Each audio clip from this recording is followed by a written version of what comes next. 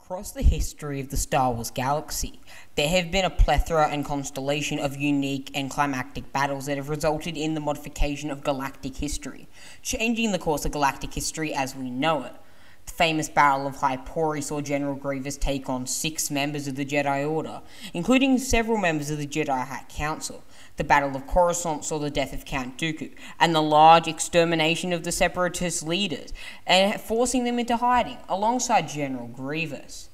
Perhaps most famously, the Battle of Yavin and the Battle of Endor were two battles that defined galactic history, with the Battle of Yavin introducing Luke Skywalker as the hero of the rebellion to the wider galaxy and showing his pure or inspiring force sensitivity and skill, with the Battle of Endor ultimately exterminating and destroying the second Death Star and killing Emperor Palpatine. The Battle of Endor and the Battle of Yavin perhaps impacted galactic history more than any other battle in all of the galac- galaxy. However, there is one battle that I want to point to that is rather overlooked, and that is the battle on Had Abaddon. This battle, taking place 137 years after the events of Luke Skywalker destroying the Death Star in the famous Trench Run, was a battle in the Second Imperial Civil War and the Third Jedi Purge.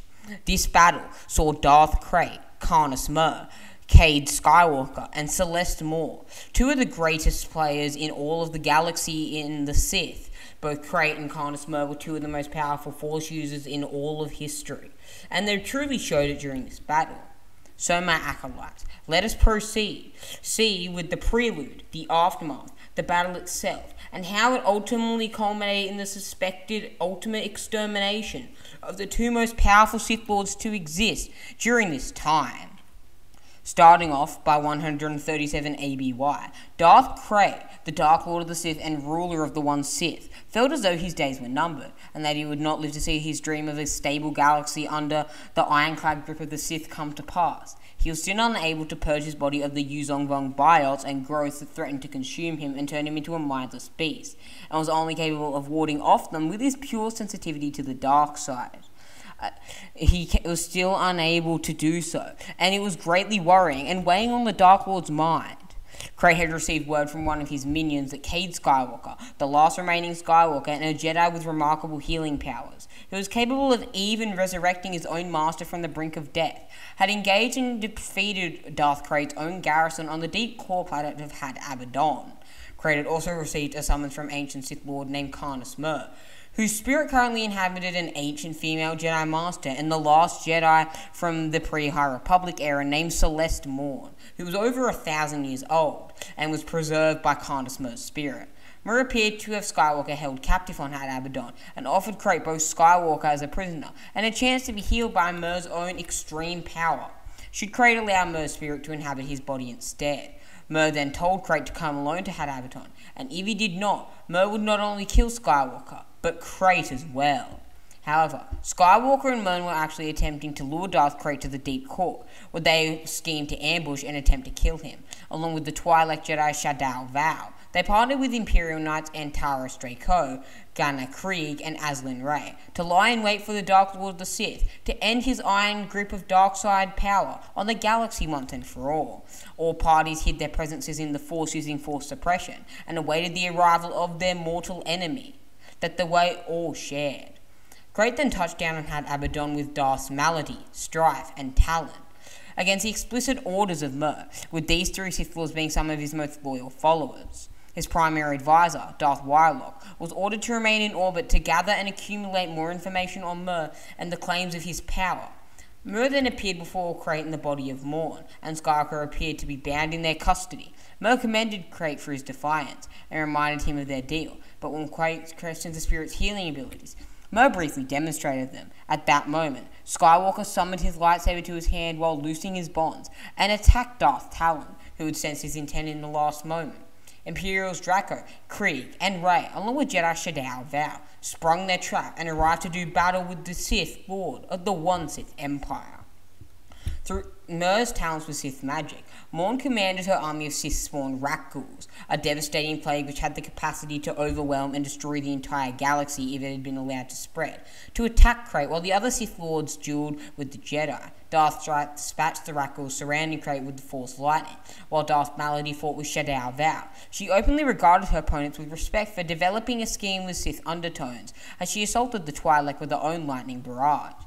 Despite the ferocity of her attacks, Darth Maladi remained as evenly matched with Vao through the entirety of their encounter. After defeating Darth Talon in their brief encounter, Cade Skywalker attacks Stryfe. He force pushed the Sith Lord into a pile of thermal detonators sent by Skywalker's friend Jariah Syn, and later lover. The resulting explosion engulfed Stryfe and threw him off the platform. Skywalker then went into battle with Morn's Rakghouls, which are doubling by the dozen, who are running rampant and terrorizing Jedi, Sith, and Imperial Knight alike without discrimination or being boarded back. In the midst of their fighting of the Sith spawn, the Imperial Knights had fallen back to consider their role in the current battle. Draco felt if there was a duty to retrieve Karness Muur's Sith talisman, which gave her the power to transform non-force sensitive beings into an army of Rakghouls, which could utterly decimate not only the Sith Empire, but any empire that would continue to rule. However, Rae believed that destroying Krayt was paramount, and the three should work to end that unison.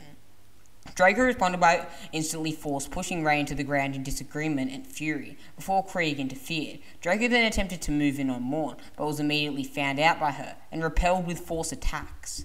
Muur Spirit then took control of Morn and exposed Draco's treacherous motives, while vowing to kill the Jedi, turn Skywalker's companions into Rakghouls, and take Darth Krayt's body as his own, seeing him as the most powerful vessel the galaxy had to offer. At the last moment, Krayt repelled all the Rakghouls with an immense blast of Force lightning, incinerating them and temporarily interrupting the battle. He then fell upon Morn, coaxing her into embrace the dark side of the power of Muur. Then Krayt felt within her. Abandoning their lightsabers, Krayt and Muur began to exchange volleys of crippling force lightning. Maladi fell in beside the Dark Lord and aided her power in his attempt to overpower Morn, and Karness Muur's spirit empowering her. Seeing that Krayt was occupied, Azlyn Rae called for Skywalker to cover her while she was attempting to finish Krayt. Skywalker fended off the advancing Rakghouls as Rae launched herself at Krayt from behind, and succeeded in impaling him through the chest, piercing his Yuuzhan Vong armor with her lightsaber. Krayt's concentration was suddenly broken. Muur seized the chance to unleash a massive storm of devastating force lightning, one that fully consumed and nearly killed both Rae and Krayt, and scattered the remaining combatants around the platform. Muur then hurled Krayt's defeated body over a nearby cliff to his apparent death. Rae received some severe burns over most of her body, with nearly all her hair instantly singed away.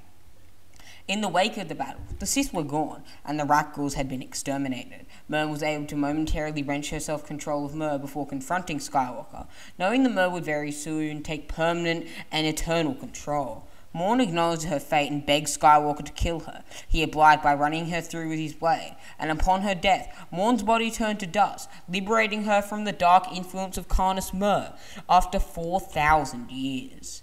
The amulet of Muur's in Mor's possession that housed both his spirit and power, now free from Muur's body, immediately latched onto Cade Skywalker's arm. Muur believed that he would make his Jedi his new thrall. Instead, Cade displays his immense latent force sensitivity that was a legacy of Anakin Skywalker.